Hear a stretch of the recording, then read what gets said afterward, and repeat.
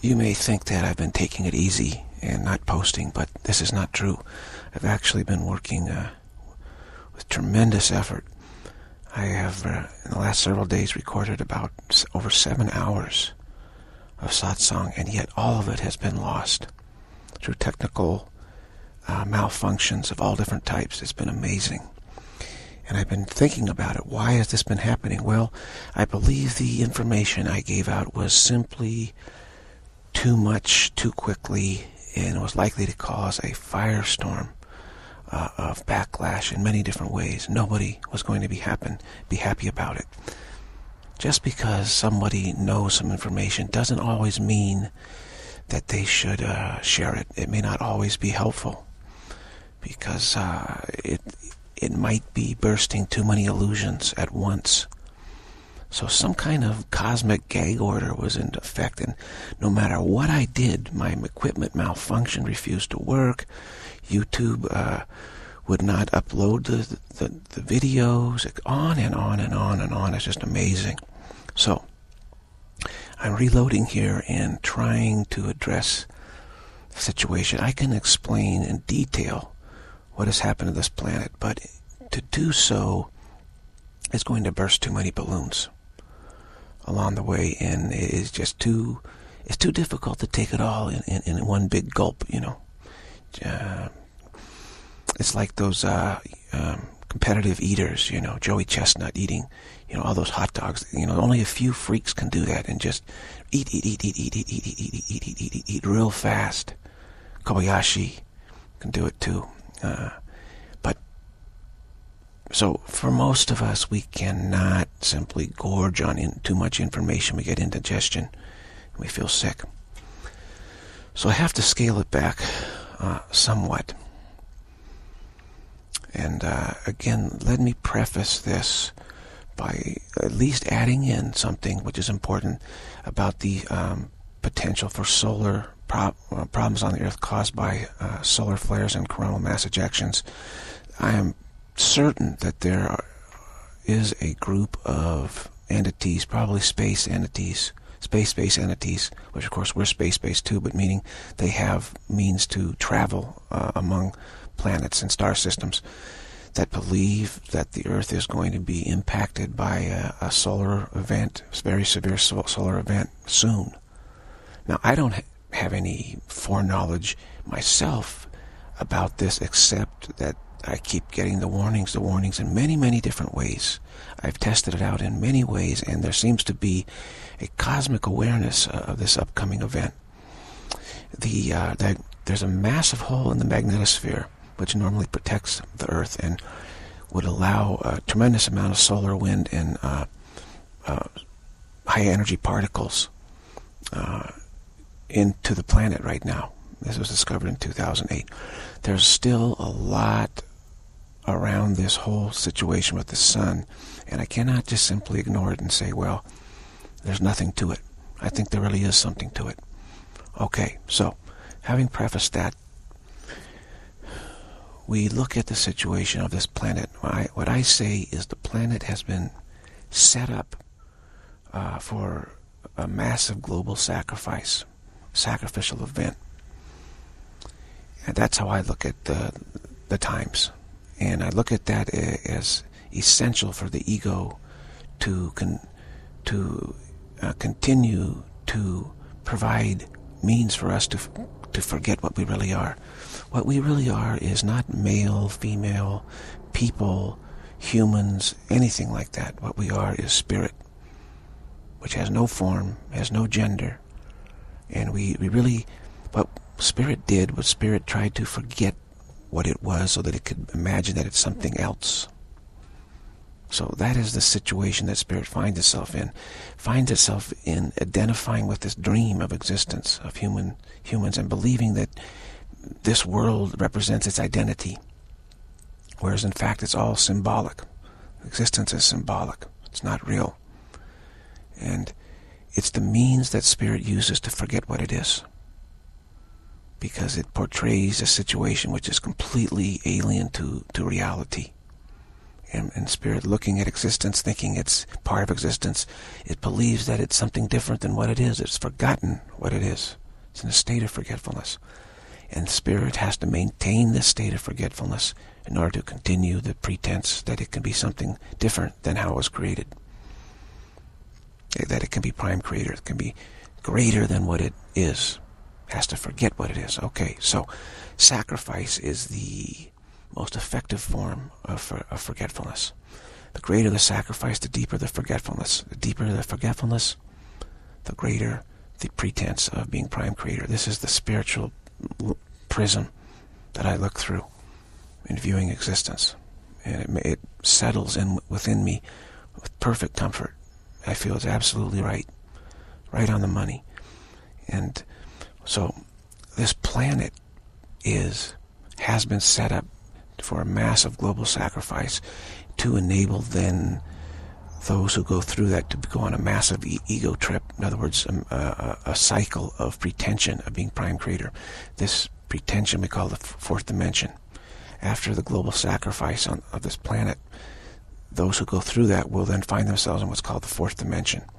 And in the fourth dimension, um, there is a long cycle of pretense to being prime creators and, and a deep forgetfulness of, of what we really are. But I've also said that we can sidestep this entirely and not go through this whole scenario. Sidestepping it leads to what's called the fifth dimension.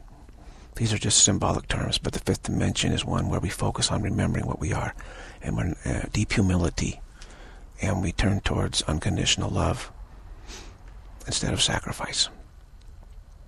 So at stake really upcoming is whether you're going to go into the fourth dimensional uh, experiencing or the fifth dimensional experiencing. Very, very different places. And I very, very much advise you to go into the fifth dimensional functioning where the situation is set up for satsangs, for clarification, for turning and choosing to experience unconditional love as the only means to remember what we really are. Now, this planet has been set up for global sacrifice, a massive global sacrifice, which again is like the power, it's the fuel of the fourth dimension. It will power those who go through it, power them into the fourth dimension, which is basically a state of extreme pretense, of pretending that one is prime creator. A state of extreme forgetfulness of what one really is, which is the prime created. And the global sacrifice is necessary to, to propel to another cycle, a cycle, a fourth dimensional cycle.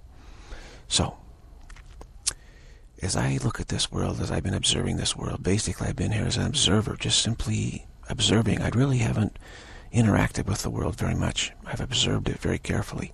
And the it's absolutely unmistakable what's happened here. Blatant, obvious. What happened was the, the humans on this planet, we call them humans, they're, first of all, let's preface this by saying there are many entities, space entities. There are several types that uh, are playing a, a, big role in the situation here. Humans, called humanoids, and reptilians. And uh, the humans uh, have been living on this planet for a while. What happened is that humans literally invited the reptilians in here to set up the sacrificial event because the reptilians are experts at doing this. Reptilians have been referred to as, as Satan or the devil or, you know, a lot of pejorative terms because they are experts in setting up massive sacrificial events. They're expert at subverting the defenses of a world against uh, sacrificial events. And the thing is, though, they cannot come into a world unless they're invited in, unless they're asked in. Otherwise, uh, they cannot function here and do their do their dirty work. So, from this this perspective, one can realize that it takes two to tango, and one's able to get out of a judgmental mode. For me, I don't have any loyalty either way to humans or to reptilians. I don't have any I have an objective, observational perspective and a focus on salvation through unconditional love. And I, that's what I'm loyal to. I realize I'm spirit. I'm not humans. I'm not reptilians. I'm not a body. I'm not an energy form or anything like that. So I'm just observing and seeing what has happened here. The reptilians have subverted this world. They have set it all up for a sacrifice. They've done their dirty work, and they've done it very, very cleverly. They're experts at using the psychic uh, level for deception in many, many different ways. They're expert at propaganda. They're expert using uh, entertainment and culture and media and all of that to propagandize the world and to turn them towards savagery and acceptance of savagery and all of the mayhem that is to come in global sacrifice. They precondition the world, and they've done it, done an expert job at that. But they never could have done this if it weren't for the fact that humans invited them in here and asked them to do it. Because humans, they want to get on that fourth dimensional kick too. And they realize this, this is the way, this is the price we have to pay, so to speak. The idea of, uh, of death and resurrection is the idea of a massive global sacrifice and leading to new life in the fourth dimension. Okay. Which is really no life at all. Which is, again, just simply a, a fantasy of pretension. The real spiritual way is to sidestep the whole thing. And that takes one to the fifth dimension. Okay, it's very important teaching here. So I'm not going to give chapter verse of exactly how the reptilians did it because I, I in the previous attempt to uh, post a video to YouTube, I went into great detail, and that failed to upload, and I lost everything, lost it, and I realized, you know, it's too specific. It's going to touch on some sacred cows in this world, and people will not like it. And I guess it's not really necessary. Maybe at some time, in hindsight, we can detail it I certainly know exactly what happened, but it's not necessary to, to know chapter and verse about it, you know, the, the details of it. Because it, anyone who had eyes could see it. Anyone who's lived through the last 50 years knows, really knows intuitively what happened. Some have spoken out on it, they've been crushed. In my previous attempts to, you know, out the whole situation, I was, you know, severely crushed. So it's probably not the best idea to talk about it even now because those who believe in sacrifice and want to go into the fourth dimension, they are they believe their literally their their existence, their identity depends upon it. And so they're terrified that it might not work for them, that it might be stopped or halted. They're willing to do anything to make sure that it, it goes through. So one does not want to appear to be trying to stop it. And I'm not actually trying to stop it. What I'm trying to do is sidestep it. Big, big difference. So I'm not threatening uh, any stoppage of it whatsoever. It's going to happen, no question about it. The, the future is already set in stone. This is something that's very hard for certain people to, to accept. I know that very well. Uh, but it is set in stone. It's going to happen. We cannot uh, stop it.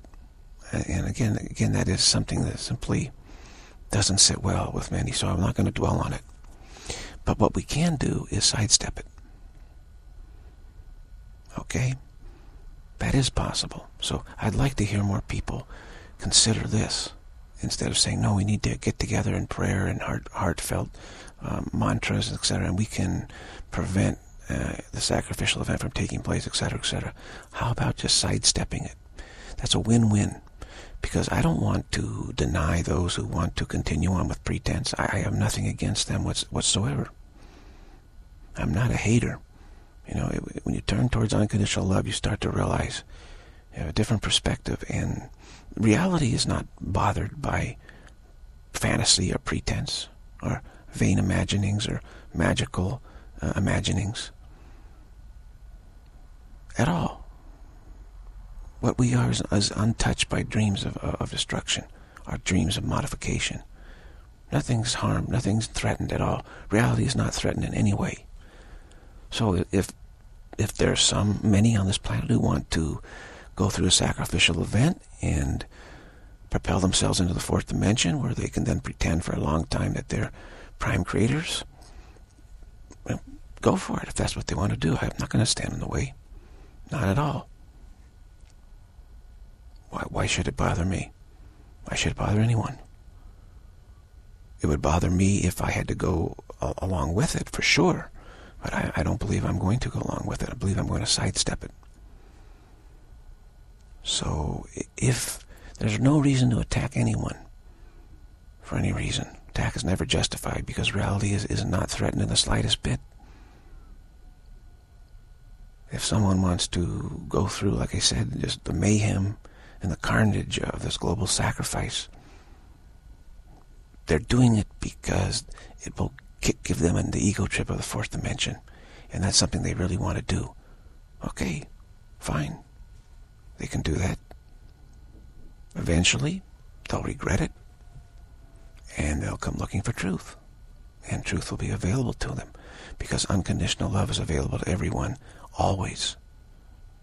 Perfectly present, right? This every moment.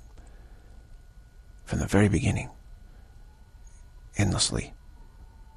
No situation where it's not perfectly present. So everyone is in the arms of unconditional love at all times if they want to turn in that direction. And everyone is pre-qualified for that. So there's no possibility that any aspect of spirit could ever be lost. It's totally unthinkable. So why try to prevent those kinds of things from happening? It's a big deal for them. It's a really big deal. This whole global sacrifice is a really big deal for many, many, many so I'm not speaking out against them or that or anything. I'm simply speaking out for for those who want to sidestep it. That's all. Those who want to go to the fifth dimension and, and above that, so to speak. Not that there's any real thing such as dimensions, but there are differences in direction and emphasis and purpose. And for the purpose of, of, of speaking conceptually, that's useful to use the term dimensions. So, you know, how the reptilians manage to subvert this world and set up for sacrifice, well, they're very good at what they do. They're very devious. They're very deceitful. They're very clever. They're very shameless. They have no conscience about this. And they simply, you know, did it. By hook and by crook. They did it. And they've done it. And it's all set up already.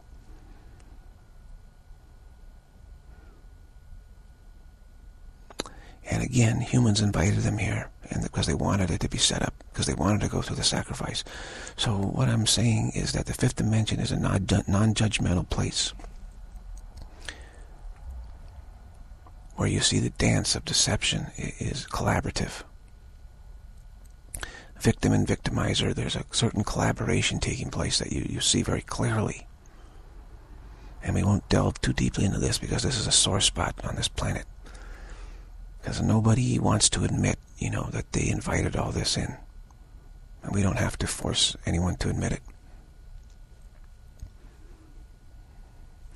But it is absolutely possible to, to see it that way and not be judged one way or the other. Just understand that sacrifice itself is completely delusional. It's a way, it's simply a way of maintaining forgetfulness of what one is. That's all that it is. The teachings of the fifth dimension are really fantastic.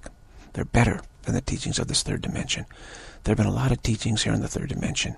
Various religions, Islam, Buddhism, Hinduism, Christianity, uh, Baha'i, Shintoism, Zen, I mean, Zen Buddhism is an offshoot of Buddhism. Uh, you know, and, and many others, Zoroastrianism, Jain, Jainism, uh, Judaism. Uh, so many, many, many, and then Christianity has different offshoots of, of Catholicism and, and Protestantism, etc., etc., etc. A lot of teachings, but I tell you this, the, the teachings on the fifth dimension are way, way, way, way, way better. Those are the teachings that I've been uh, tuning into. They're just fantastically better. So much clearer, so much simpler. Teachings I've really been giving out in these videos are fifth dimensional teachings and they have elements of third dimension religion, but they also undo the distortions and mistakes that have been made and put the entire thing into a much, much wider, easier perspective. It's a piece of cake, really, once you see it. Simply choose to experience unconditional love, and that's it. You, that will remind you of what you are perfectly. You will remember what you are. That's the essence of it gets rid of all, everything else is not even important. So those who go to the fifth dimension will have fabulous teaching. And I'm just trying to like warm you up for that. That's what it is. That's what this is all about. Warming you up for the fifth dimension. So you can hear some of the music, so to speak. And realize it'd be much, much better there. And uh, you really will be able to free yourself from the misery that you've been going through for so long. The, the fear of, of being in forgetfulness of what you really are and feeling disempowered and feeling you're not free, that you're not safe, that you're vulnerable, confusion, all this stuff.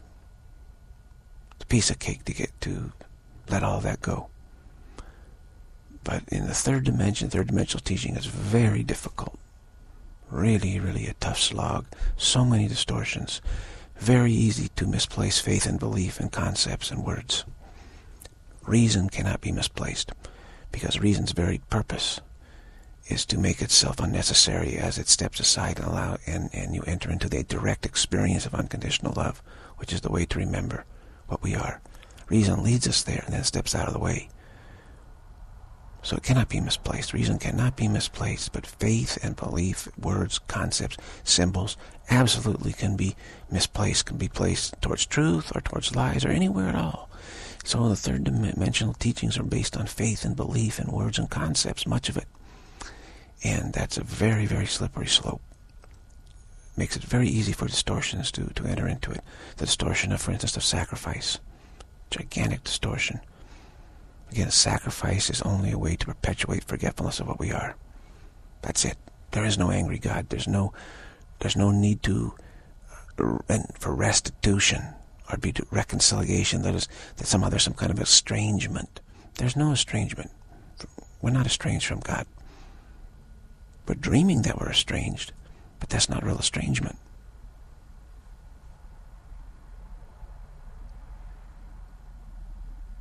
That's the ego that demands sacrifice. It's lies demand the sacrifice of truth. Because lies are vulnerable to truth. Truth is not vulnerable to lies. Just like darkness is vulnerable to light. Light is not vulnerable to darkness. It's darkness that wants the sacrifice of light, wants to get rid of light because it feels that light threatens it. It's vulnerable to light. But light is not afraid of darkness. It's not vulnerable to darkness. Put light and darkness together, what happens? The darkness vanishes.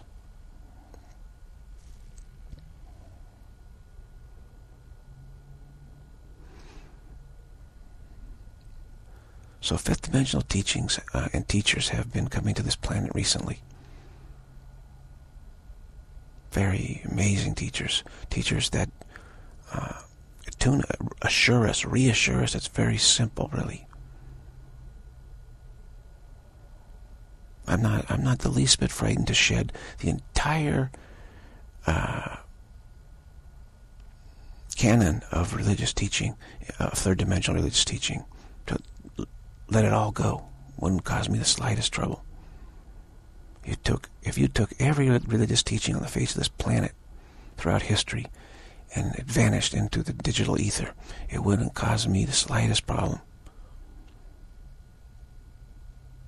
Because the fifth dimensional teaching, I'm very aware of it, and it's so incredibly simple. Simply choose to experience unconditional love. We're already pre-qualified to do so. That will remind us of what we are, perfect reminder of what we are. That's all we need to do, period. It's that simple. So we don't need any other teaching, really. Everything else is just a reassurance of this people will bring up uh, uh, questions and, and, and doubts, etc. And then we need to address those, and, and, and, the reassurance will address those. And so it may seem that there's a lot to it, but ultimately there's there's there's only one step to it.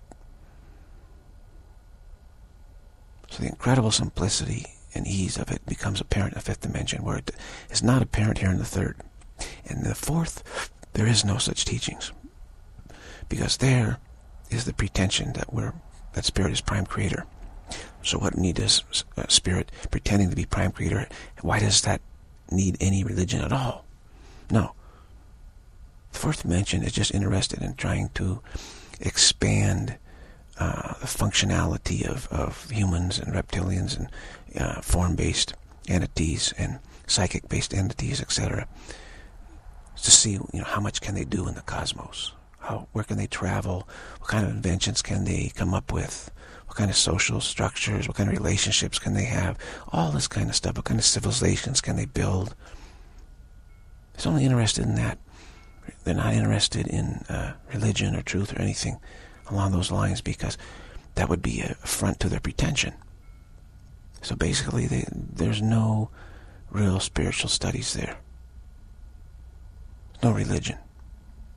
Their religion is exploration of the cosmos. That's fourth dimension. And you can feel that in this world. Fourth dimension is calling this planet, people on this planet, so strongly.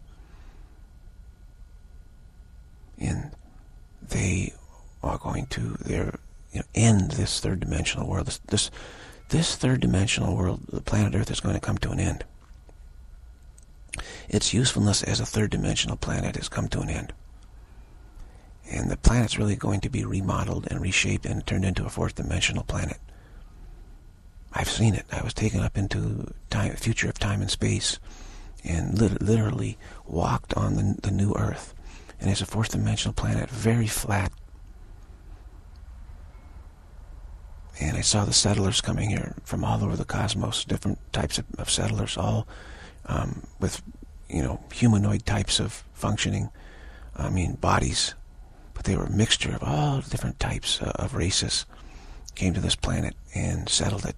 Was all fourth dimensional people, mindsets.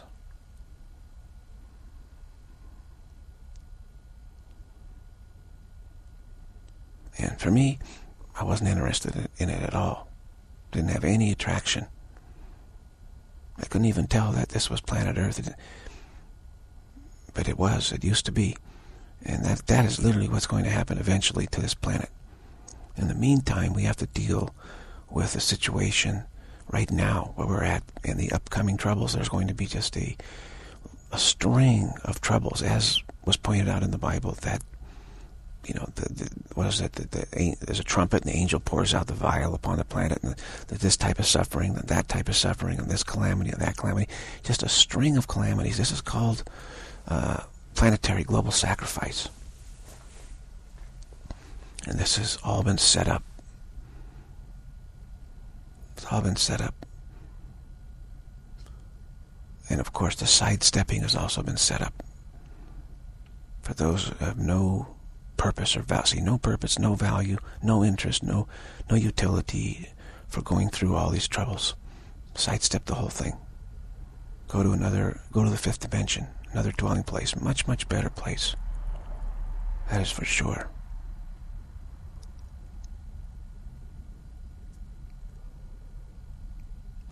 The fourth dimensionals, for instance, I saw them terraforming the new planet. They brought all these seeds and, and DNA uh, forms of all these plants, etc., and they planted them all in very, very uh, detailed ways. They have these blueprints, like um, lay, they lay these blueprints out for these beautiful resorts, and they plant all the plants uh, in certain ways, very sophisticated. They terraform the planet that way. I saw the terraforming of it. But uh, still, it's, it's, it's a very flat feeling to it. It's not really inspiring. But they're really into that. They're into, you know, we've seen fourth dimensional outposts on this planet where they build these, uh, what do you call it, terrariums or huge uh, indoor glass uh, biospheres.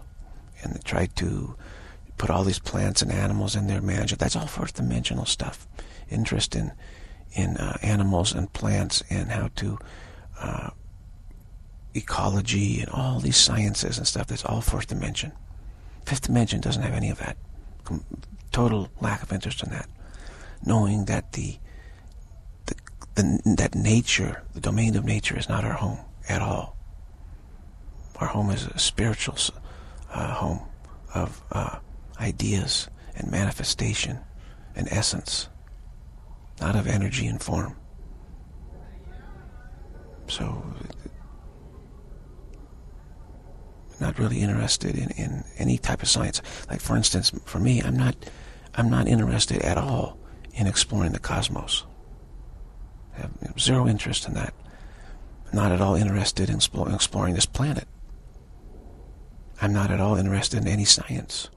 I could care less about any of it. Has no interest. I don't care about inventing anything, making anything.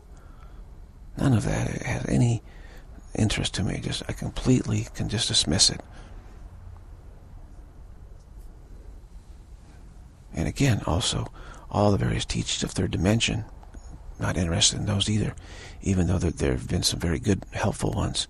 But compared to fifth dimensional teaching, they're, they're very clumsy, to say the least. So the fourth dimensionals, you know, have this profound interest in terraforming and, and studying the cosmos, uh, materiality, how to how to produce things, all this kind of stuff.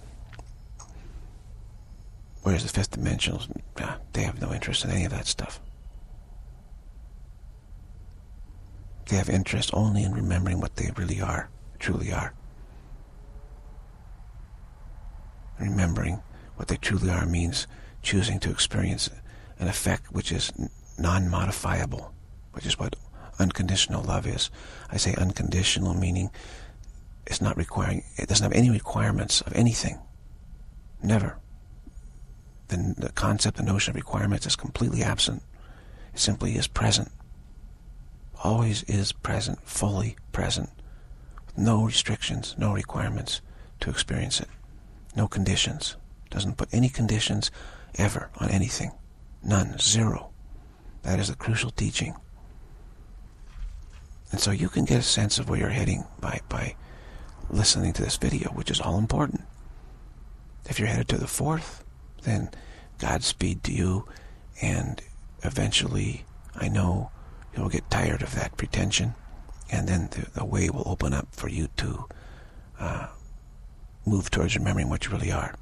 And if you're headed towards the fifth dimension, you're certainly uh, are more than welcome to sidestep all the troubles that are, will come upon this planet. Now, 2012, we're right in the midst of it now. Almost finished with half of it.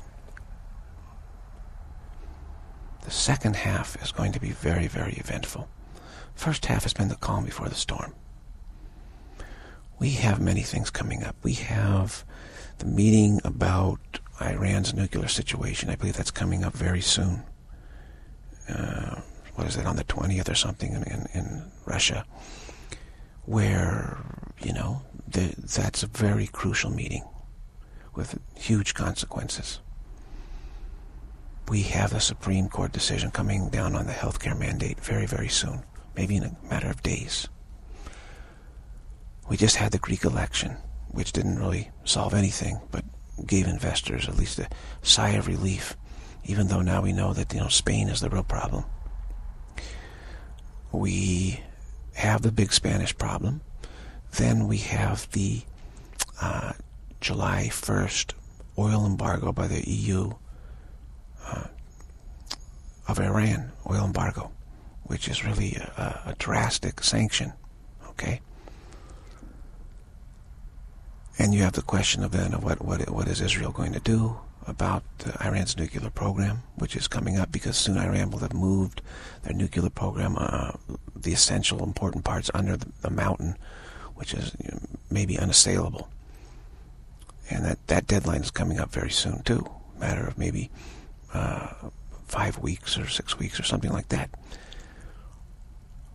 So you, you have a constellation of events, and there are many other situations beneath the surface that the global financial instability is playing out now.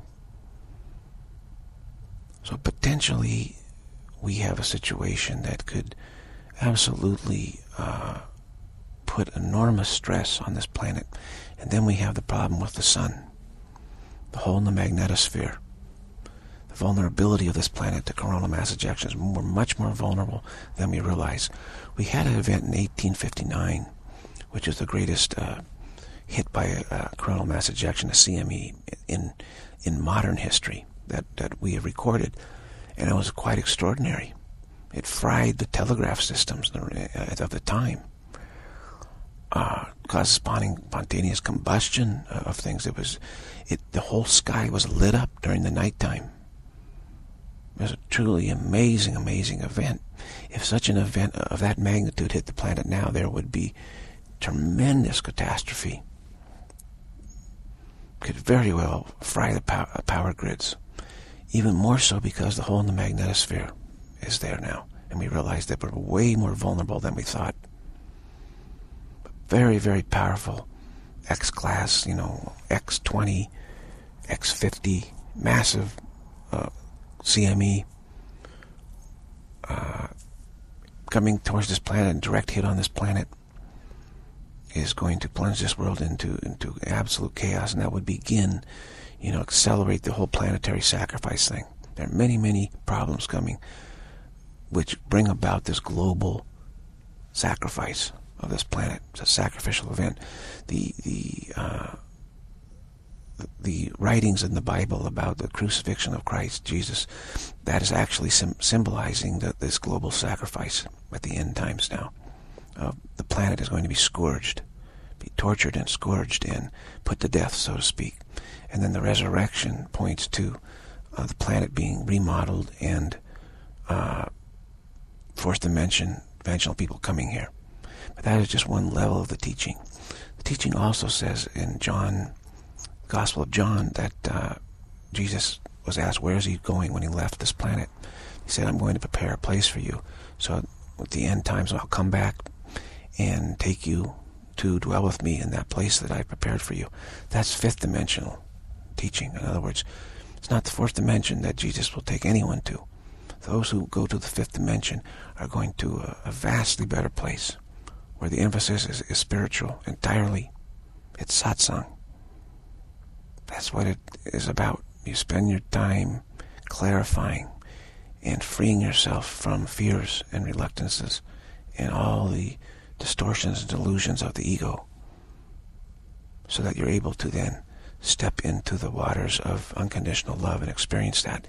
And by experiencing that, remember what you actually are, which is spirit, which is free, which is invulnerable, cannot be changed.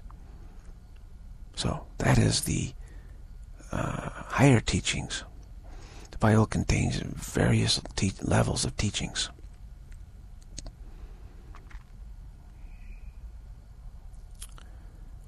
So you, again, we do not ha have to go through any of those troubles. It's not necessary. It doesn't benefit fifth dimensionals at all. Not in any way. In fact, it just kind of demoralizes them. It's a negative experience it's surprising, but the planet is really going to embrace the sacrifice because they realize that it's the fuel for the fourth dimensional experiencing. So they'll really get into it. And that's what I see on this planet. I see people, instead of panicking, instead of feeling, oh, this is terrible, no, people are not reacting that way at all. They're kind of looking forward to it. because they're eager to get into their fourth dimensional experiencing. They're they're tired of the third dimensional experiencing. We're all tired of the third dimensional. Okay, most of us here, a lot of us, very tired of it. But the difference is some are very eager to go into the fourth dimensional experiencing. Others are very eager to go into the fifth dimensional experiencing. That's call, called the parting of the destiny paths. That is going to take place very soon. Very soon. Sooner than we maybe any of us realize because the, the whole third dimensional civilization is going to implode. It's going to implode. We all know it. We can all see the red flags. And the reptilians have expertly booby-trapped the entire situation so that people really turn to savagery and mayhem and carnage and viciousness and, and you know, like barbaric uh, attitudes will, will sweep the world. Mass hysteria and all of this stuff, which will lead to just, will give you the kind of experiences that lead to the fourth dimension, meaning it experiences which carry a wallop of forgetfulness. Because why? Showcases vulnerability. Anything that showcases vulnerability packs a powerful punch of forgetfulness of, of what we are. Because what we are is invulnerable. And that powerful punch of forgetfulness propels one into uh, the pretensions of what we call the fourth dimension, which is just a state of very extreme pretension. Remember, arrogance is the belief that we can become something different than what we are. That is arrogance. And humility is to accept that we cannot become something other than what we are. So when I state that none of all of this stuff is pretension, that's not arrogance, it's humility. It's arrogant to think, to believe that we can become prime creator, that we can become something different than what we are. That is it. Total arrogance. Humility is the way back to salvation, to redemption. That is the way. The fifth dimension is very humble uh, state where we admit, yeah, that we've been worked, working to forget what we are so that we could, we could pretend to be prime creator. We admit that. That's, that's the ticket of admittance of the fifth dimension. It's not pride. Pride is the ticket to, to the fourth dimension. Pride is saying that we can forget what we are, become something other different than what we are. That we can grow, that we can evolve, that we can progress. It's the gospel of progressivism. In many ways, the political parties are, are aligned along different lines. The Liberal Party, the Progressive Party, is aligned with the fourth dimension. The Conservative Party is is partly aligned with third dimen third dimension, of trying to maintain that. And there are also some some who are sort of a mixture of that, who are aligned with the fifth dimension. They're conservative in some ways, and, and progressive in other ways, but not really either one or the other independence, I might put put that way, or a lot of them are aligned with fifth dimension.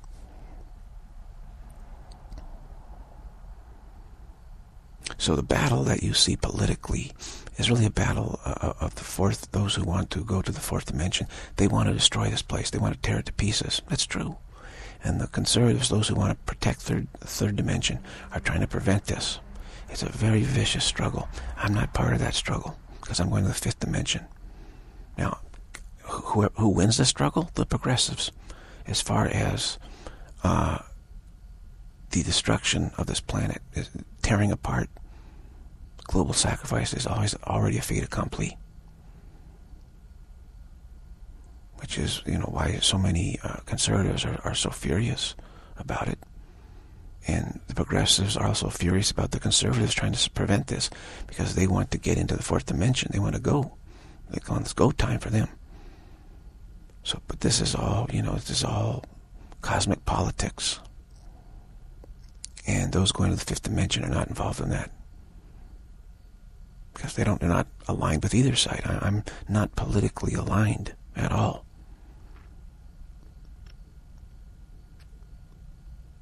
Because both, both the third and the fourth dimensions are, are delusional situations of, of emphasizing forgetfulness of what we are.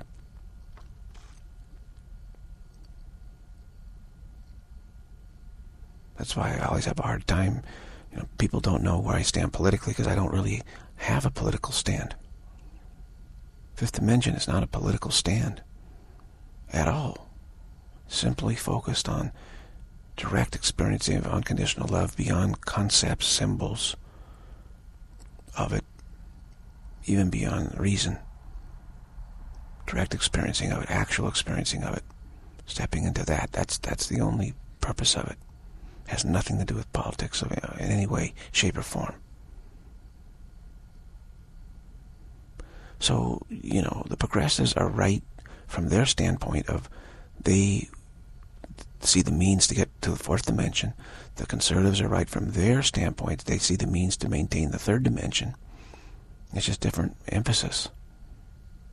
But on this planet at this time, it is going to be torn apart third, third 3D is going to implode. That's what's going to happen, actually.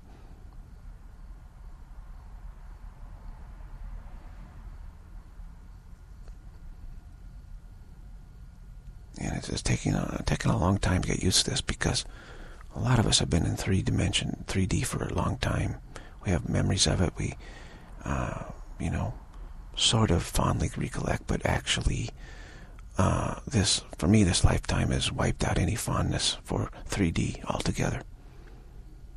It's really a very nasty place. And it is a place which is very vulnerable to fourth dimensional infiltration and sacrifice, which is what has happened and will happen. Which is not a happy thing at all for those who want to maintain 3D. They're very unhappy about this, say the least. And one can certainly see why. Because there are those who really feel that this experience in 3D is a great way to forget what they are. And they feel that their means of forgetfulness is going to be taken away from them. So they're really, really angry about that, and understandably so. But I tell you, there are other three-dimensional dwelling places, and those who want to remain in 3D, they will go to those other dwelling places. Um, it's not you know exactly the same as, as planet Earth, but they will still have a, a way to uh, forget what they are in 3D type of way. They'll have their religious teachings there and various things. Uh, the religious teachings of this 3D are really saturated with delay. They don't work very well. It's a slow boat to China, so to speak. But there's the pretension of making progress and feeling that one is focusing on what's important, even though one is really kind of just scuffling along. Fifth dimension is entirely different. With you get the taste of it here, just very direct, matter of fact, no nonsense. There's only one. There's only one way to remember what we are. That's the to experience the uh, the effect, which is uh, not being modified at all, which can never be modified. Just one effect. No change, no modification. Just absolutely pure, pure stillness.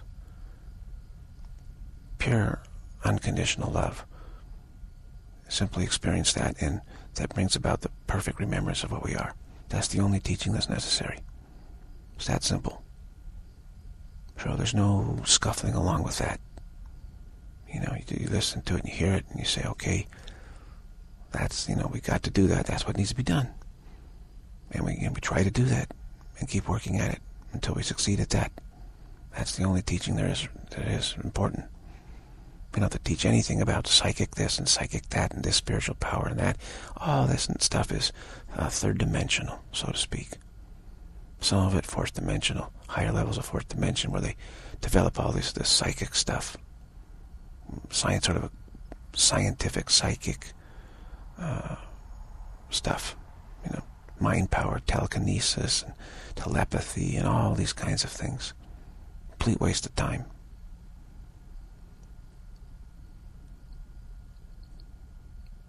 I'm not, again, I'm not in the slightest bit interested in any of that stuff. You know, Spiritual powers, no interest. Walking on water, miracles, no interest. Levitation, no interest. Whatever involves the body, you got no interest in it. Who cares what the body can or can't do? Makes no... What relevance is that to what we really are? We're essence.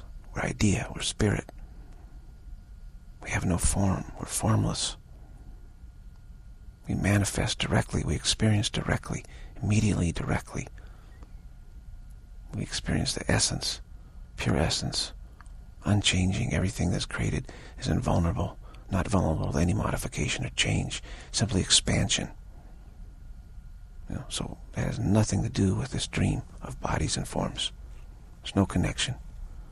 So there's a great disinterest in who cares uh, about uh, whatever can be developed within the dream of energy and form.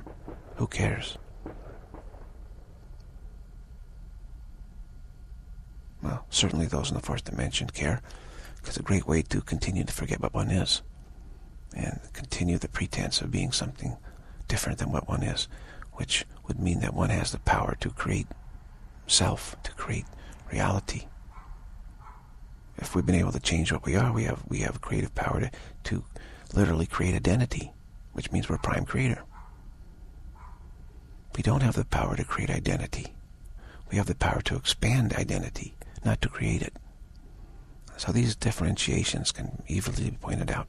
A Course in Miracles is a fifth dimensional type of teaching. And was brought to this planet this time to prepare those who are going to the fifth dimension to go there and there have been teachers coming this planet who are who are fifth dimensional type teachers who, who uh, radiate extreme perfect assurance that unconditional love is present for us right now. And that's all that we need to do. Assurance beyond all concepts, beyond all faith, beyond all belief. Supreme assurance that and the supreme remembrance of what we are, perfect assurance that we are spirit and has been completely unharmed. Those are the type of teachers of the fifth dimension. Fifth dimension has several types of teachers. They have the real high teachers that radiate assurance, and then the mid-level teachers who are very good at clarifying. I'm a mid-level teacher of the fifth dimension. A high-level teacher is like Ramana Maharshi or Anandamayi Ma, that type. Which simply radiate this perfect peace and assurance and stillness. Experiencing unconditional love. And it's steady, constant, unchanging, unmodifiable. And that assurance is very helpful for us. Very, very, very helpful. An enormous help to get that assurance. Now these teachers uh, are not in the world at this time. Those type of teachers. I would say they're in the they're in the fifth dimensional situation, waiting for us to go there. I was hoping that they would come here uh, during this time, but apparently not. Apparently it's not necessary. It's only necessary that we orient ourselves in the right direction. Is it going to be third, fourth, or fifth? Not many listening to this are interested in the third, which is very primitive, really. It's not really that great of an experience for us anymore. We're not really moved beyond that. And then not many are interested in the fourth here. They're listening to this. Most will be interested in the fifth, fifth dimension. Just to listen to these videos, you have to be interested in the fifth, or else you're going to go crazy. You're going to say, ah, can't stand this. There's, there's nothing there for me, you know. what about, you know, psychic powers and attraction and all this kind of stuff, and there's nothing there just keeps repeating experience unconditional love you know where's the where's the, where's the beef yeah. so it doesn't have and or where's the science where's all this you know interest in the cosmos and etc etc no interest in any of that so the, those who are interested in the fourth dimension will find this to be very uninspiring for them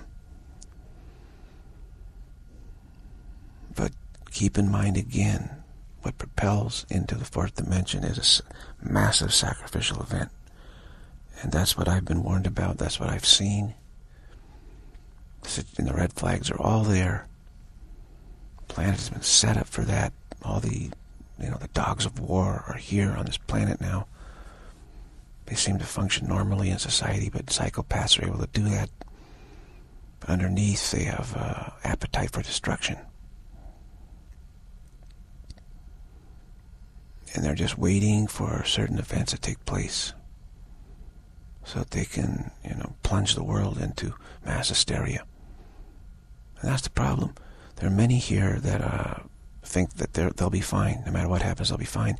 They underestimate the, the dynamic uh, uh, of mobs and crowds and how hysteria, hysteria and panic can spread and grow, which is what, what really the finance ministers are so frightened of, is a panic. Panics cause financial collapse. And the psychology of panic is very interesting. And it's something that the reptilians understand very well and have, have pre-programmed into this planet now to go into a panic. Those who are aware of the fifth dimension don't, don't go into a panic. They turn to prayer, to unconditional love, to the foundations of, of their faith But the undermining of all of that on this planet has set up a situation where people are vulnerable to hysteria, mass hysteria. All the secular training, secular humanism has made this planet extremely vulnerable now to mass hysteria and panic. So those who feel that they should be fine, uh, be able to write anything out, it's not true. because once the panic gets uh, gets going like a wildfire, can't be stopped. It's a contagion. It's a contagion worse than any virus. It's worse than the Spanish influenza. Worse than the bubonic plague or smallpox or anything like that. It's a kind of mania that we, if you don't have uh, immunity to it, you're going to succumb to it. And what I've seen is the immunization has not been taken. Like people immunize themselves to to uh, polio and tuberculosis and all sorts of various cholera, typhoid fever, malaria, etc., etc.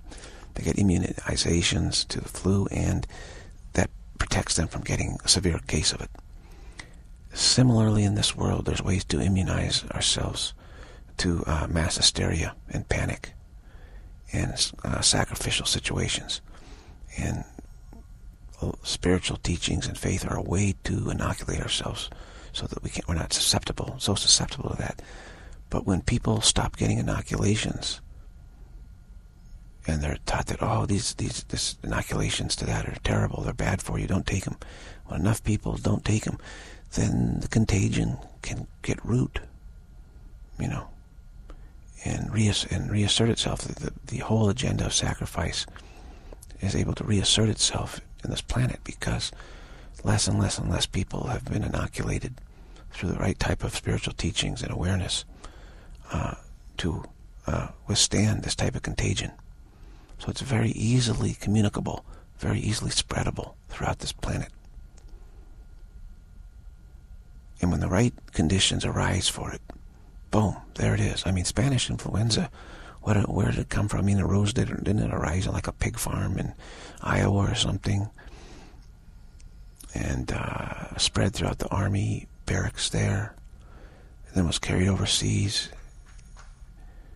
And uh, broke out in Spain and then India. Actually, India got hit worse than anyone. It's called Spanish influenza because the Spain, Spain got hit hard by it, but India got hit even worse. But it started out with a mutation an, you know, an HN type of virus, an avian flu type of virus, mixing with a bovine, a swine virus, and becoming highly contagious, and, and we had no immunity to it. But it, it just somehow came as a, you know, a confluence of events on some kind of pig farm where the chickens, you know, chickens and pigs mixed, and somehow the the virus mutated in a certain way. So conditions simply arose where this suddenly gave rise to this mutation. Well, conditions in this world well certainly can arise to give rise to the kind of conditions of contagion and, and panic and hysteria. And uh, at that point, you have to realize it's a good time to sidestep the situation. Because we all, to some extent, can be gripped by that. In no way do I feel I'm invulnerable to that. In no way do I think there's anyone on this planet, with few exceptions, that is invulnerable to that.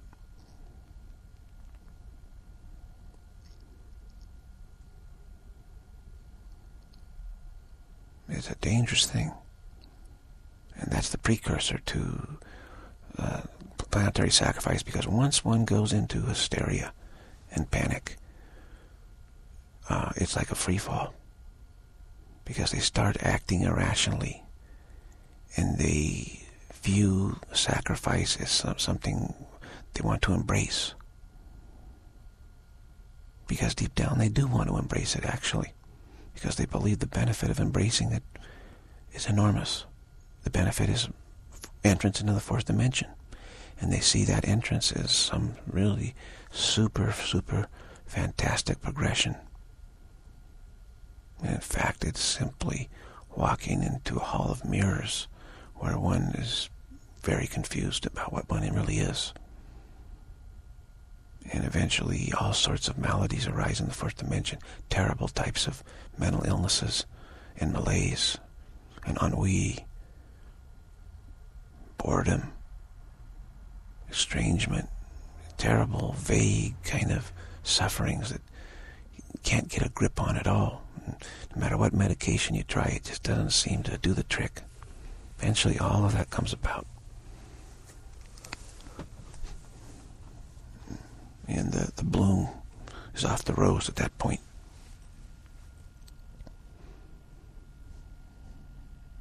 So how are we doing in this video? So far, so good. I, I believe that it's uh, touching on what's important without getting too mm, controversial.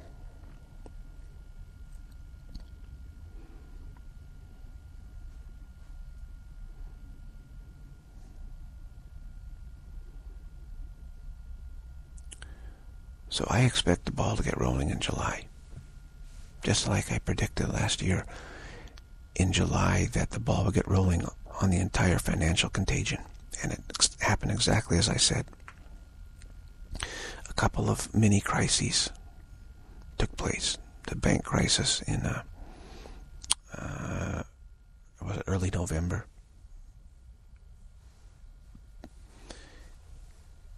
There was a severe bank crisis, and then the Greek crisis uh, earlier in this year. Those are the two mini crises, which I said would precede the, the, the one, the huge one, the huge collapse.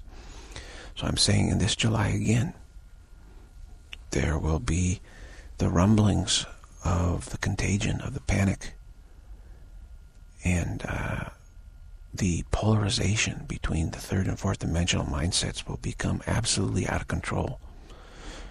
Know, I expect I don't I don't know for sure what's going to happen with the healthcare mandate, but it wouldn't be a surprise if it struck down.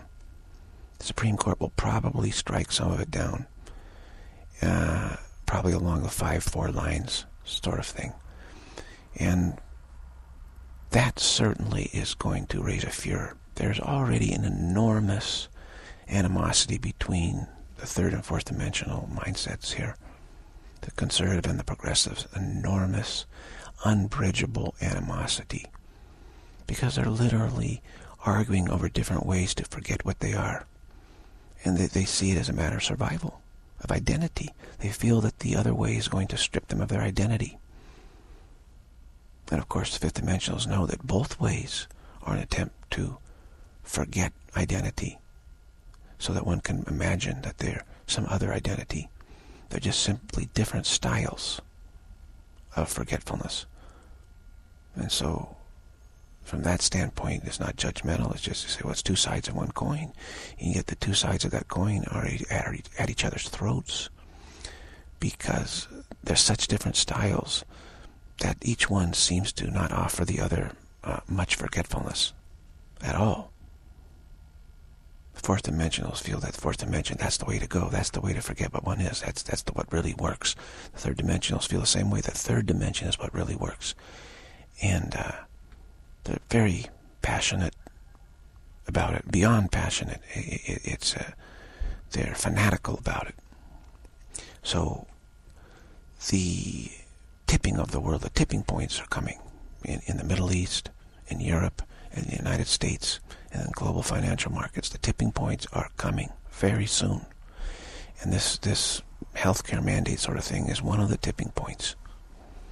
Just as the Iranian nuclear program is one of the tipping points. Just as the Spanish, uh, Greek, Portugal, and Italy, you know, Ireland, uh, Iceland, etc., etc., problem is part of the tipping point in Europe. The euro is under enormous stress and problems part of the financial tipping point. So you have all sorts of tipping points.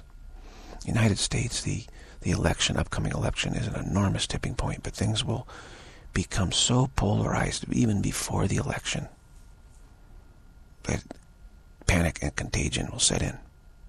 Very likely this will happen. It'll get out of control. And again, circumstances can arise that trigger this.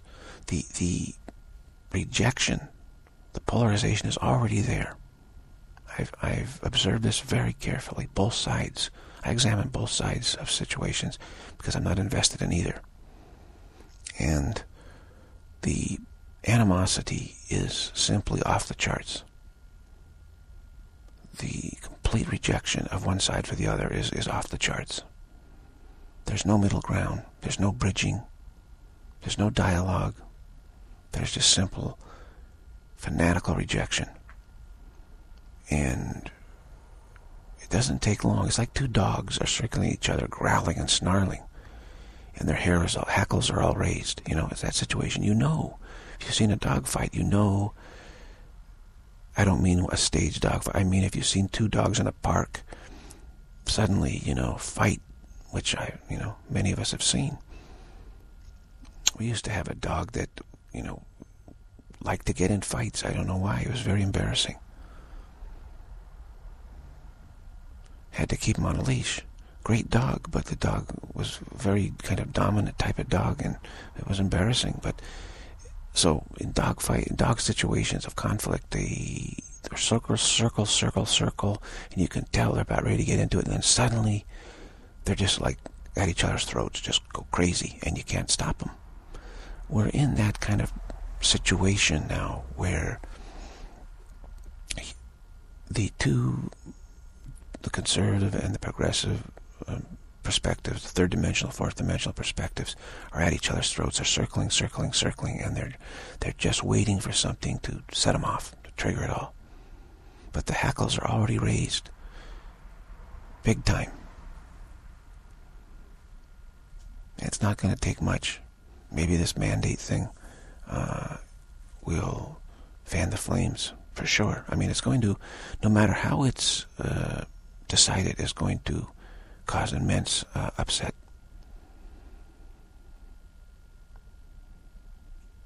Not gonna, no one's going to be really satisfied. You know, it's just going to be a, a nightmare. And there's so many things like that around the world right now where, you know, you're, you're no matter how you decide, you're going to make someone extremely unhappy. And there have literally been so many decisions, legal decisions and various decisions uh, that have made one side or the other extremely unhappy. You know, if I was one either a progressive or conservative, I, I would be able to point to a vast litany of things which would seem to be absolutely outrageous.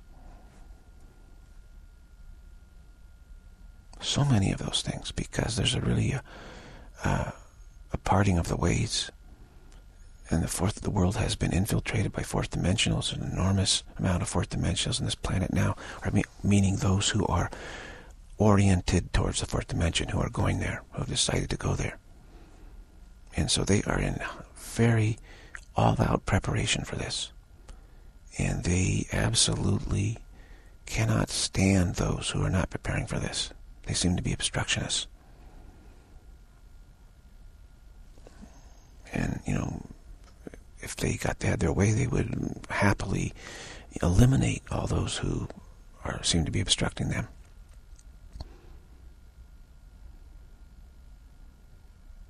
It's a very uh, a situation that's set up for for a very bad conflict,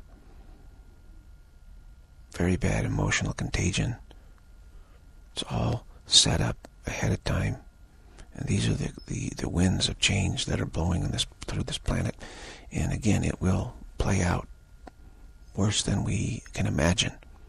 The, the, the intensity, the, the the conditioning, the rejection, you know, the, those who go to the fourth dimension uh, want to move on from the third dimension entirely. They're they're moving on, and those who want to stay, they don't want to have anything to do with the fourth dimension. So they're really looking right past each other entirely. That's what I've noticed. You can notice it too. People look past one another now on this planet. There's divisions where simply the the uh, collegial atmosphere kind of that you know we used to have that was stressed in this in, in this world of getting along with others and seeing the, the, the common ground and honoring and respecting and loving one another and all that stuff that I was raised on, it's gone. I mean, Congress is at each other's throats. And it's because that, that people are looking past to their destination, that they're wanting to get to its destination time. Third dimensionals want to get rid of the fourth dimensionals off this planet. And the fourth dimensionals want to get rid of the third dimensionals from prevent them from obstructing their preparation and their sacrifice of this planet so they can go into the fourth dimension. So that they have completely different agendas and they're looking past one another, simply how to fulfill their agenda. So there's no more common ground on this planet. There really isn't. And there's no way it can be established. It's all a fait accompli now. So the wise move is to the, to the fifth dimension, so to speak. Dwelling place, uh, another dwelling place. That's the wise move. That's the intention. You know, and yet one has to cultivate that intention to amplify it in a spiritual way. The spiritual orientation is the ticket.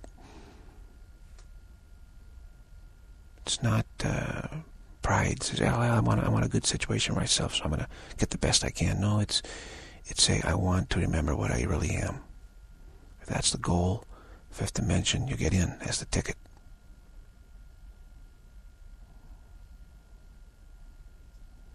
And the idea is as simple as who, who wants to go. If you want to go, that's the ticket. You're in. If you don't want to go, you won't go. That's simple. Very simple. Fifth dimensional is, uh, is very simple. It's very plain, very simple. It's not sophisticated. It doesn't need to be. That's very beautiful, that's for sure. Simplicity can be very beautiful.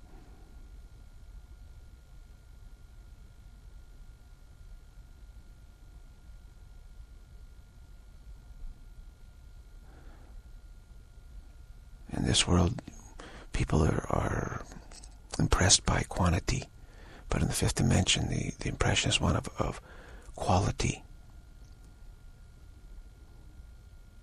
It's far better to have like one tree that is absolutely so beautiful and has such extreme quality than it is to have an orchard full of ragtag trees, you know.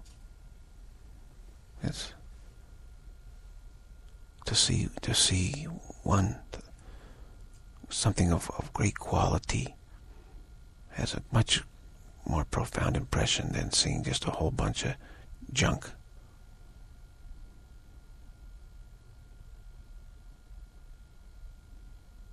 Fifth dimension uh, has strong reflection of isness and essence.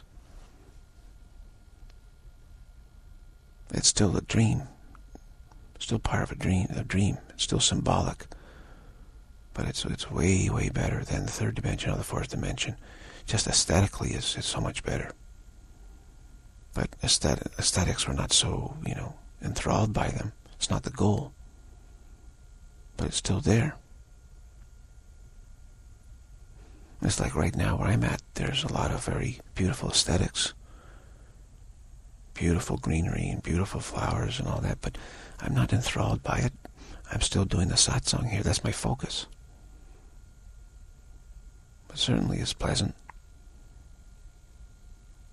Nothing wrong with that. It's not an end in itself, though.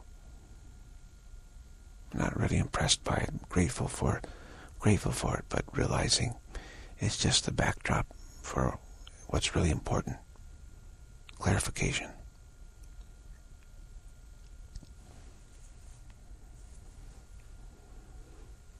And again, this, this so far, this, this satsang has been going well. Very well. It's very important to hear this prior to some of these tipping events we don't know exactly what will tip things, how they will be tipped exactly, what will cause the, the mutation, so to speak, uh, leading to attitudes of contagion, of, of panic and hysteria. There's already been a massive amount of capital flight in, in the EU, and there's an attitude there uh, uh, of a desperate attempt to preserve what capital there is instead of trying to uh, increase. It's more preservation at this time. And bond markets could soar potentially for Spain. It could hit go over seven. It's possible. Italy could also soar, and the whole thing becomes un unsustainable. When people start realizing it's unsustainable, that's when panic could break out, contagion could break out, could break out in the United States uh, over uh, the political election coming up, which is without question the most hotly contested political contest in history here, really. Two sides are absolutely uh, implacable enemies. And each one of them has a vast litany of reasons why.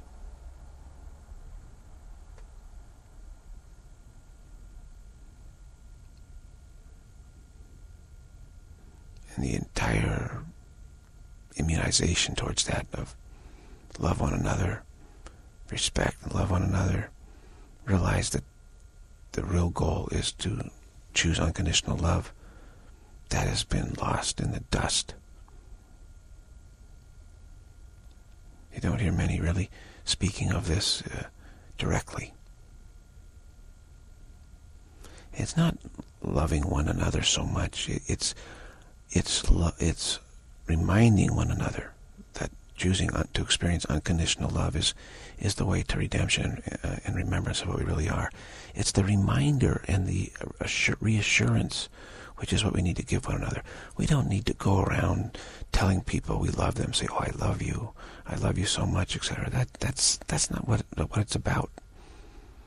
It's reminding one another that the experience of unconditional love is the way to remember what we are and that we value and we know that each one of us has equal access to that experience.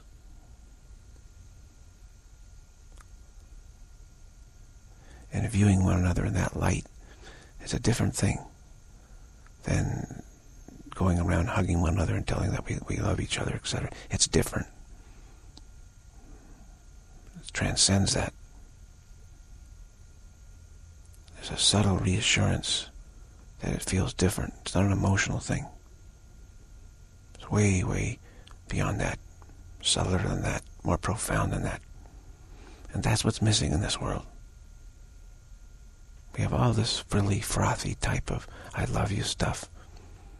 But the profound of viewing one another as already pre-qualified to experience unconditional love, already having complete equal access to unconditional love and knowing that it's impossible for them to ever disqualify themselves from that.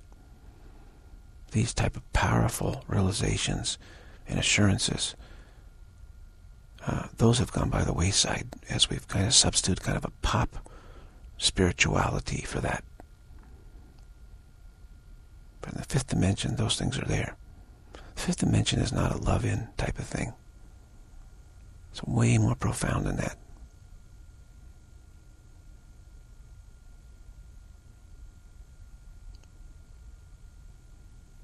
It's not a situation where let's all get together and, and dance and chant and hit drums and tell each other how much we love each other and hug each other and say, yeah, we're, we're, we're really great. We're all one big family, etc. Ah, that's, that's third dimensional stuff. Fifth dimensional is way more profound than that.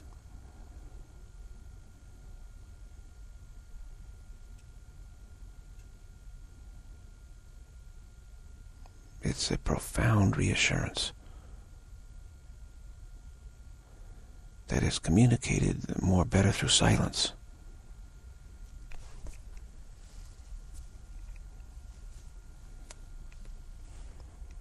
What's this bug? It's a hopping bug here. A bug just jumped, came right in my face, and now it's popping all over the place. It's a, a jumping bug. Interesting. Where'd that come from? I guess it's saying you got to make the jump. I've never seen that kind of bug before. Interesting. I heard this hmm, boom, ran right into my face. And then it's, I picked it up and it's pop, pop, pop, pop, pop, kind of hopping, like clicking its wings. I don't know. Hmm. We need to make the jump, the jump to the fifth dimension. Everybody's to make their jump now. It's jump time. Jumping to the fourth, jumping to a new third, expression of the third, jumping to the fifth. All parting of the ways. Don't worry about the fifth if you're not some lovey-dovey person. That's not where it's at. Doesn't matter. You may just be a very quiet, serene person. That's very welcome there.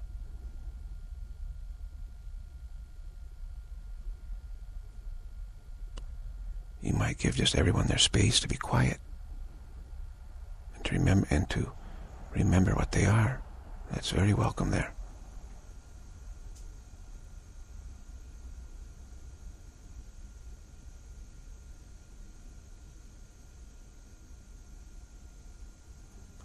You may give want to give people the opportunity to self-inquiry and to contemplate and to consider and clarify and, and listen to truth. That's very welcome. The ability to sit quietly is, is a great ability. I'd say the highest ability really is the ability to simply sit quietly. Something I've, I have worked at my whole life. I, I could just sit quietly in a chair for, you know, eight, ten hours at a stretch, just not moving. Occasionally take a sip of water and just sit there and simply work with reason and clarify. And right now I'm just you know, sitting very quietly. The ability to do that is a fifth dimensional ability. You're not trying to go anywhere. You're not trying to explore the cosmos. You're not trying to study nature, find out secrets and study how to uh, produce materials from energy and raw materials, etc. You're not trying to figure out how to do anything. Not trying to go anywhere, do anything. Just sitting and quietly taking a very close, careful look at uh, what we need to do. How can we be freed from our misery? As a fifth dimensional skill. The third dimension and the fourth dimension certainly doesn't have that skill. They're more into recharging their batteries with relaxation so they can go out and do some more exploring. That's what they're into.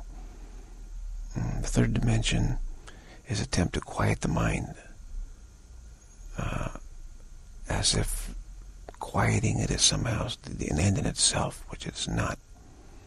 You don't really have to quiet the mind. You simply have to direct it inquiry in the right direction. Because again, it's not the quiet mind that's the answer. It's the direct experience of unconditional love, perfect peace. That's the answer.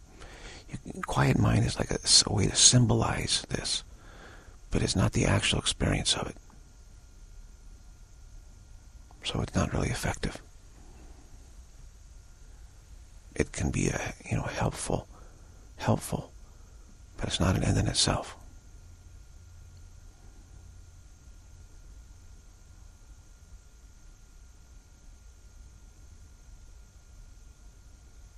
It's a very quiet evening here, very still.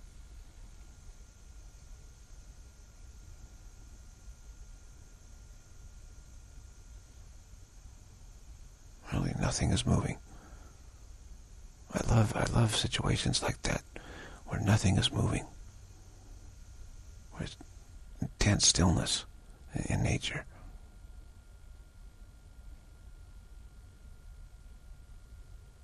And there's such a situation right now. Barely notice anything. There's just the faintest, faintest motion of uh, air. Very nice. This uh, extremely tranquil atmosphere is a, a signature of the fifth dimension.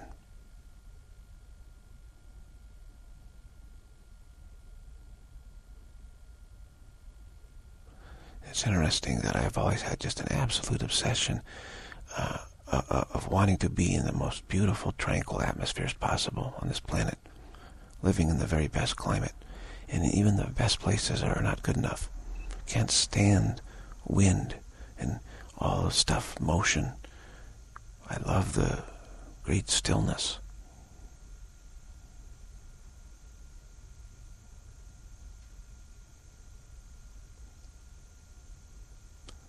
Not the stillness of like a mountain or something like that, but the stillness of the atmosphere. Where it doesn't seem to be any modification taking place. Powerful reminder.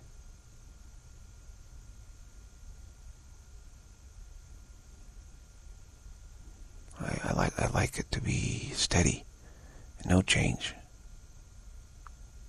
I like each day to be exactly the same as the one before, no change. So the atmosphere of this planet has always just driven me to distraction, just so frustrated by it, because I cannot get it to just remain still and quiet. For the fifth dimension, the atmosphere is tremendously tranquil.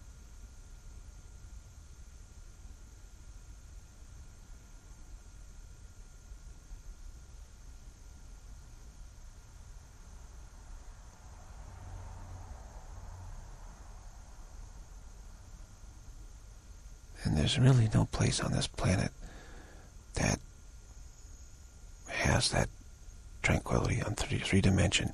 No, you can't really get it. People talk about places like Hawaii that, you know, the, the temperature doesn't vary much, which is about as close as you can get.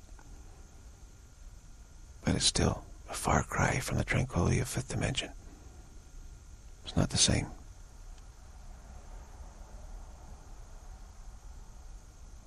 There's an overall tranquility in the fifth dimension.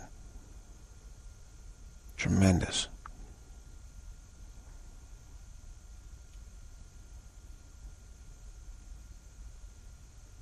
Many of us have had experiences in the fifth dimension. We just the problem is we we didn't stay there. You know, I really feel I've had experiences of it, and homesick for it. You know, really It's just like I used to live in Hawaii when I was young, and then I left, and I've always been homesick for that kind of atmosphere there. It's really a wonderful atmosphere, better than anywhere else. Very fresh air, and the temperature always is so moderate and, and doesn't change much. So I've not been back there for ages but I've always been, you know, kind of homesick to experience that. Same thing when you experience the fifth dimension, and then you leave for the third or the fourth dimension. You you feel very homesick. You say, ah, I'm really missing something much much better, more desirable. I want. It's that feeling like you know that this tranquility, this extreme, beautiful tranquility. That's what we want. It's that feeling. We can't get it. Can't get it in this world. Can't get it in 3D. Can't get it in 4D. Not really just kind of pale echoes is what you get. Faint echoes.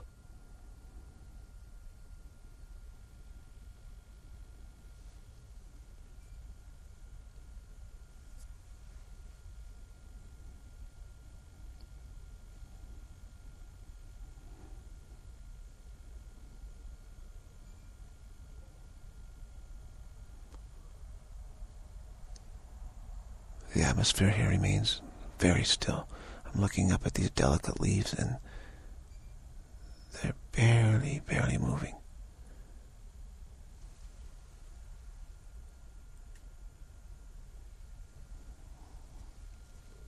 Almost like there is no atmosphere at all.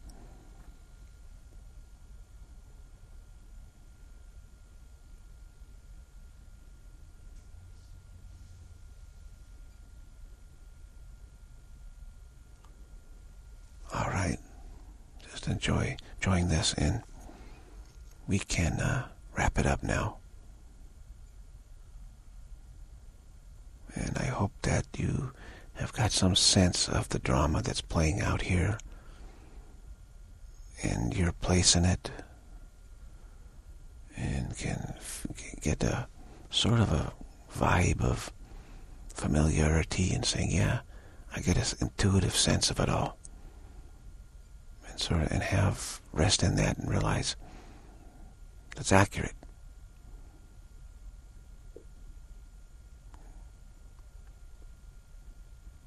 And then focus on your destination. If you're fifth dimensional, don't worry about all the political stuff and all the chaos and all that stuff here in the world. Don't deny it, but don't think that you have to take a position. You don't have to take any position on any of this.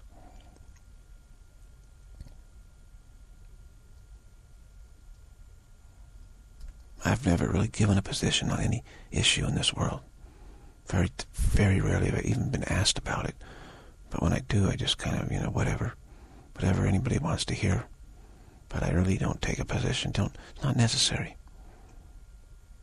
Fifth dimension is, is different. There's no polarity there.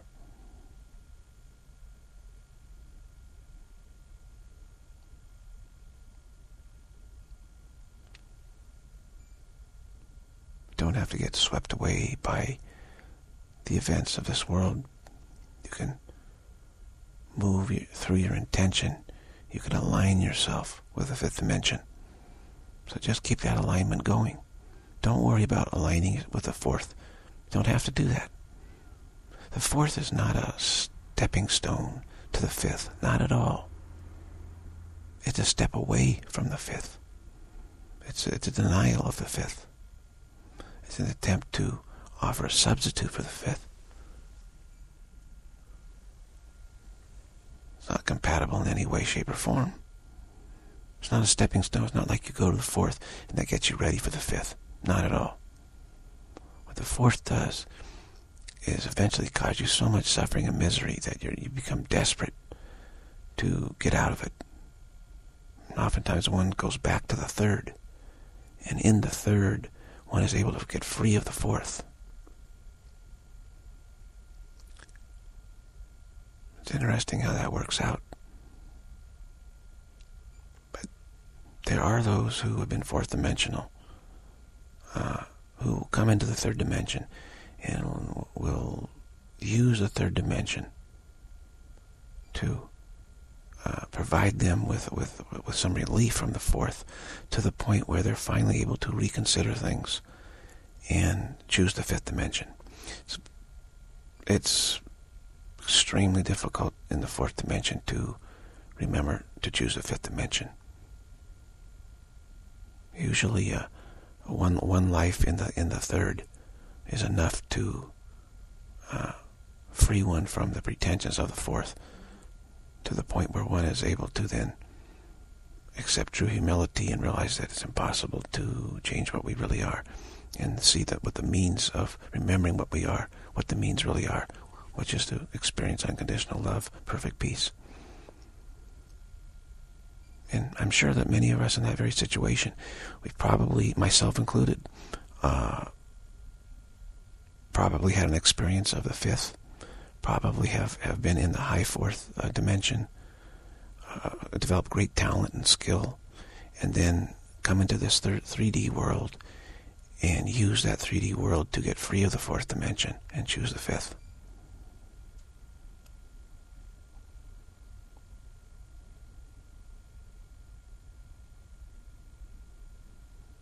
When a fourth dimensional person comes into a 3D world, they seem to be extremely talented, very advanced, very talented. And they can have major success in the 3D world.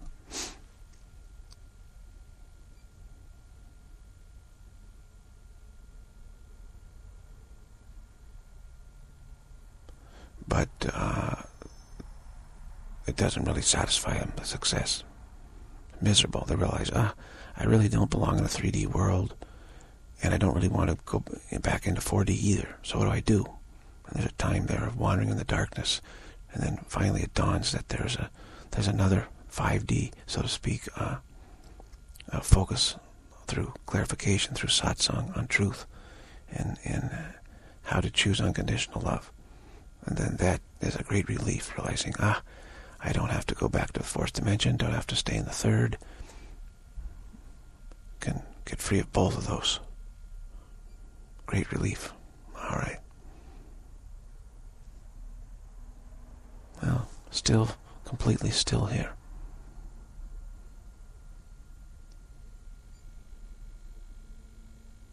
That's a good sign. All right, very great. That's it.